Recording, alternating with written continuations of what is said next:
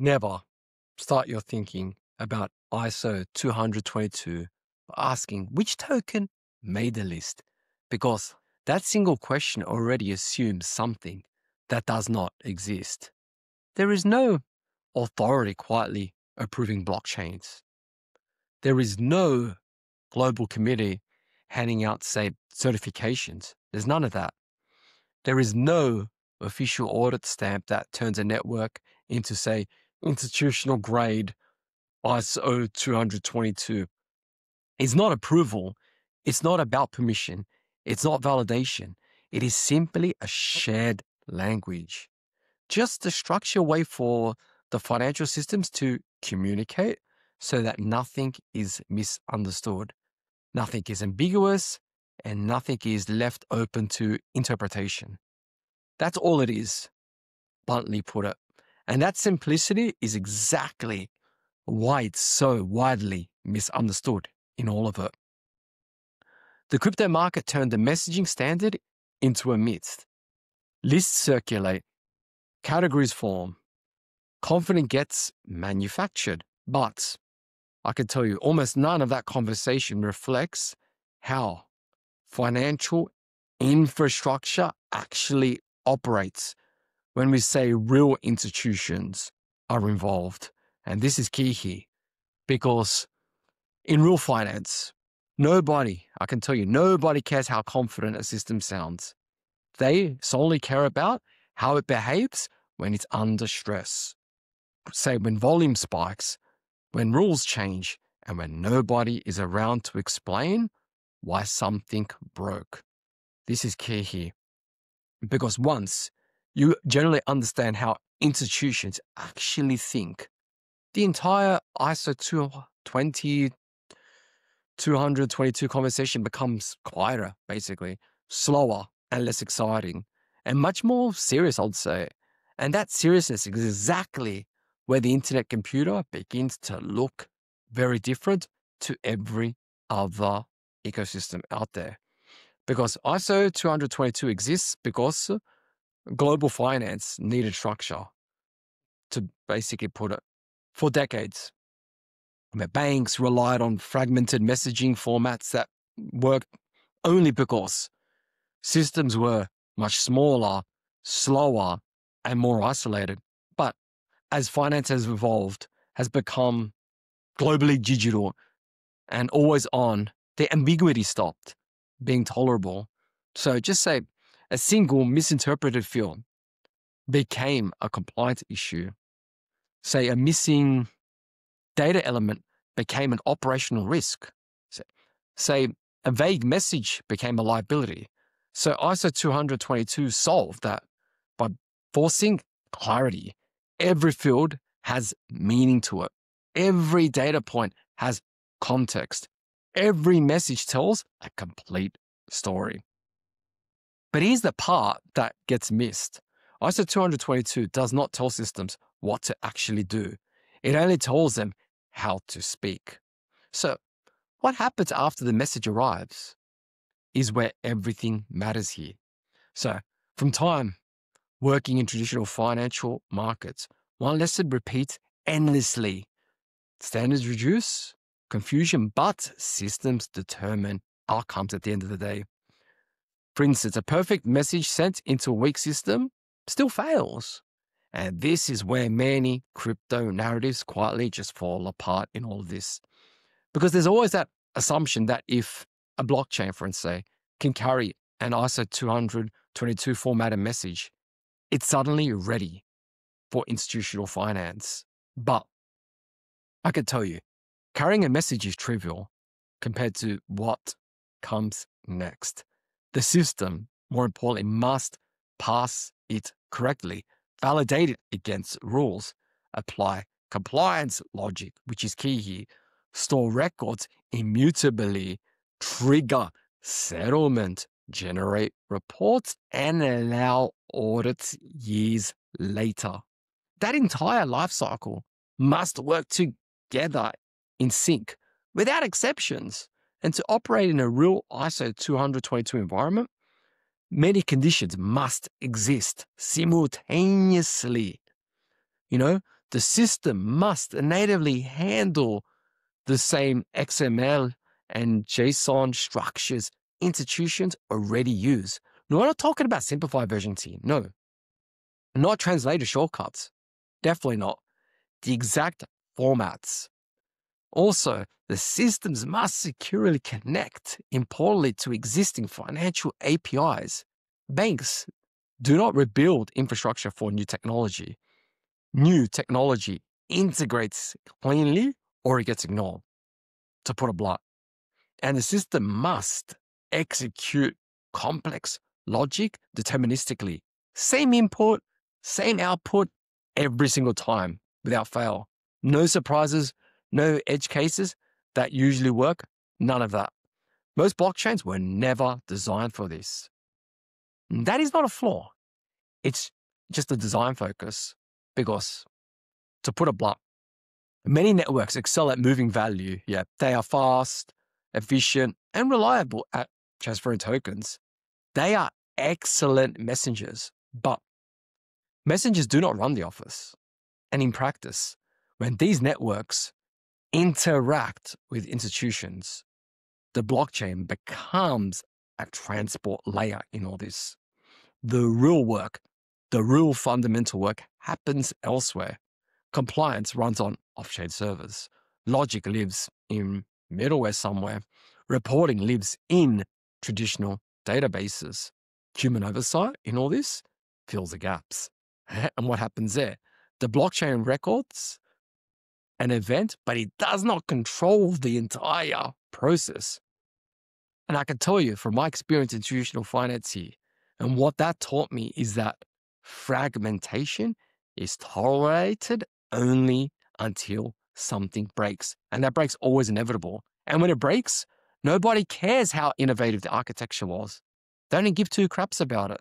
They care how many systems were involved every extra dependency increases operational risk. Every handoff creates a failure point. Every bridge becomes something that must be trusted in the whole process. And institutions accept complexity only when they have no alternative. But when a simpler structure exists, it eventually wins. It's inevitable. And this is where architectural differences start to matter far more than just the marketing. And that's why they're not focused on the marketing. And the internet computer was not built as a ledger with optional features, just to say uh, later on. It was built as a compute platform from the ground up, from its inception, from its birth, and its core unit, the canister, is not a short lived script, none of that. It is a long running application, code data, and logic that live together in the same environment. That one design choice, I tell you, eliminates entire categories of risk completely. And I can tell you from my time observing a lot of elements within traditional finance, I saw how often systems failed. Not because logic was wrong, none of that, but because logic was split across, and I can tell you across many different environments. One system believed one thing happened, another believed something else happened. And reconciliation became the real problem in all this. And ICP avoids that by its structural design. And canisters can natively pass complex data structures, including ISO style messages without a problem. The message does not leave the system to say, be understood. Interpretation and execution happen where the state lives. And that matters for consistency. It matters for auditability. It matters for trust. And even more importantly, it is how ICP handles external communication because canisters can make direct HTTPS calls to existing Web2 and legacy system infrastructures with no bridges, no dependencies, no oracles acting as translators, no middleware quietly becoming a point of control in all this. And I can tell you from an institutional perspective, fewer intermediaries in the process almost always means lower risk. Banks, I could tell you, do not like black boxes. They want clarity. They want to know where logic runs, where data lives, and how updates propagate. And I can tell you another lesson from my experience in traditional finance is that systems, you know, when they upgrade are often the most dangerous moments in any form of architecture. I can tell you different versions running at the same time create subtle failures and validation errors appear. For instance, reconciliation breaks. ICPs, synchronized upgrade model, reduce that risk. The system evolves altogether. And that may sound unexciting, but reliability rarely is. And reliability is exactly what institutions prioritize. That is key and fundamental for them. But now consider the full life cycle of a regulated financial transaction, the whole process. A message is created, okay? It is then validated, rules are applied, compliance checks run, data is stored after that. Then what comes after? Settlement occurs, reports are generated, then audits remain possible long after that. But in most crypto architectures, that life cycle that I just talked about is fragmented across on chain and off chain systems at the same time. But on the ICP World computer, that entire life cycle that I just talked about can exist within a single deterministic environment. Now, that doesn't mean adoption is guaranteed. No, not at all. Institutions do not rush, they observe, they test quietly. There's NDAs in the background. They let others fail first. And from a structural perspective, institutions respond to incentives, not excitement. They optimize for downside protection, not upside narratives. And this is why infrastructure shifts are often invisible until they are already underway. Nobody sees it until it's too late, to put it blunt. And that's a reality how it has always been. Because there is another way also, a layer to this when we talk about this in conversation that often goes unspoken in all this complexity. Complexity, complexity. It's key because markets love to talk about transaction count, speed, blah, blah, but finance does not care about raw volume in itself. It cares about workload. Say moving millions of simple transactions is easy, sure. Processing, say, fewer, richer regulated transactions correctly is hard because ISO 222 reflects that reality. It prioritizes clarity, structure, and traceability over speed. And I can tell you, many narratives focus on throughput because it is easy to market, it's simple to market. Institutions focus on workload because that is what breaks systems. And the World Computer ICP is designed around workload, around hosting applications, around logic that does not need to leave the system to function in itself. And I can tell you from my time working with the traditional markets from the institutional level, there was one pattern that always repeated again and again. Timing mattered far less than architecture because the systems that we use built on, say, solar foundations outlasted those built for attention. And understanding this does not predict outcomes. It simply explains behavior. That's the most important element here about that, because there is also a psychological difference between markets, say, and institutions.